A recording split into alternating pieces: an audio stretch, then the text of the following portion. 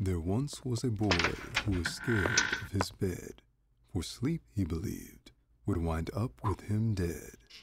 Mother and father said, There's nothing to fear. as his door they shut tight, saying, Go to sleep, dear.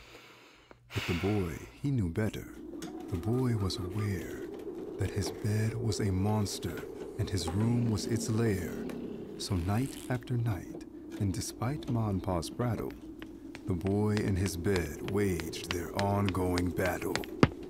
First out go the lights, next a sickening motion as the boy's wall-to-wall carpet becomes deep like the ocean where somewhere below in all that fathomless dark, his bed circles slowly like a ravenous shark. So still must the boy be.